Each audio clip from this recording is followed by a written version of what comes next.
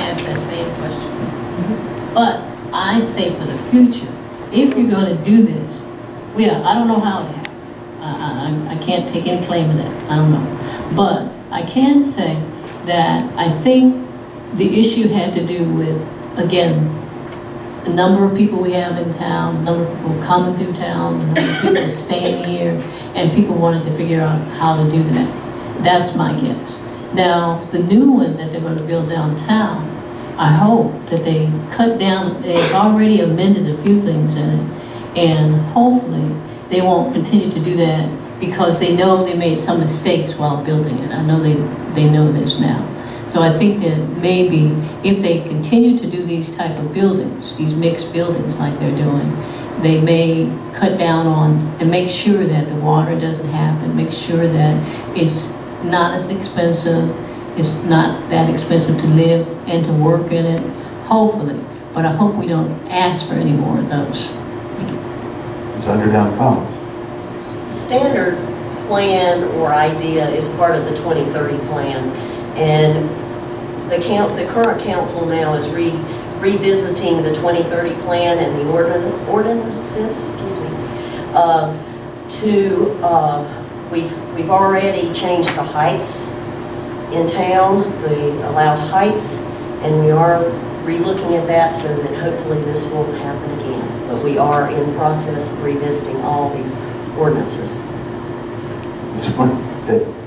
Uh, so development and uh, from working with a local engineering company is something that we deal with a lot. And the unfortunate part about ordinances is they're kind of like speed limits. If you set the speed limit at 67 feet tall, uh, eventually someone's going to go to 67 feet tall. So uh, because that height limit had been there for a long time and uh, because that building applied and according to our Board of Adjustment in a quasi-judicial format, actually met all the requirements of the town ordinances, it happened to be the first building that met those ordinances. Now, as soon as it went through, we all made changes, and we decided that maybe that's not what we wanted on our corridors. Uh, but we have to be careful uh, when we make these ordinances, because it may be two, four, ten years later before someone actually decides to drive 67 in a 67 zone. Uh, I'm very uh, unimpressed uh, with the amount of required parking that some of these buildings have. One of the reasons the standard of Boone is so large is because most of it is a parking deck inside of it. Uh, if we look at how mixed-use development traditionally goes, uh, just like on historic King Street, uh, you have to have public parking and then smaller, shorter buildings that have the same amount of population density. Thank you. Mr. Ashford.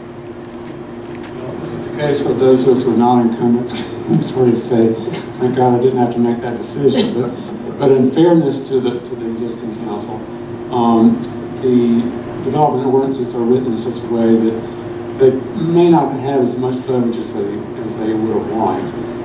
I do think that looking back on it, it does show that we need to revisit those ordinances, which has, has been pointed out, were taking place in the middle of the 2030 plan for one thing. But I think that uh, it's always a tension between setting rigid limits that are very strict and potentially bureaucratic and which hinder the kind of development we might want, and having it so loose anyone can drive whatever development they think is appropriate and is most profitable for them through it, regardless of what it does to the rest of the town.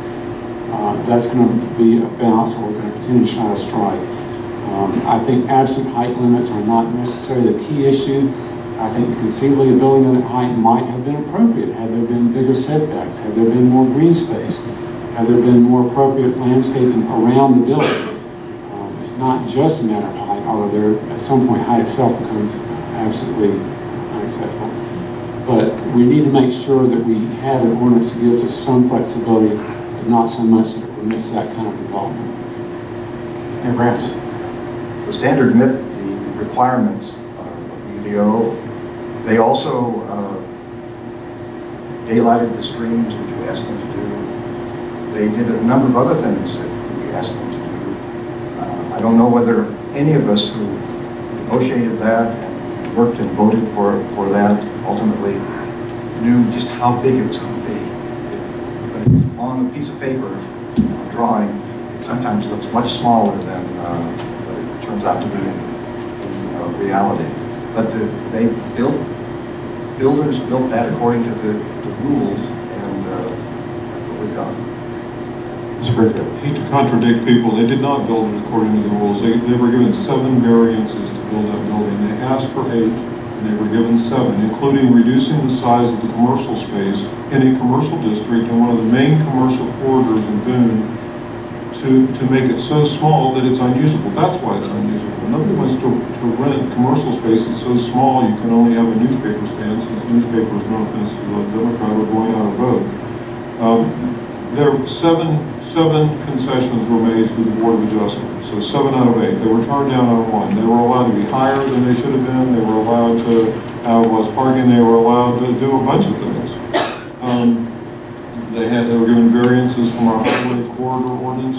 The town council twice had the standard come before it, and they approved it. And they, and they asked very few questions, you know, and maybe it's because they didn't understand what it was gonna look like, although the plans were right there.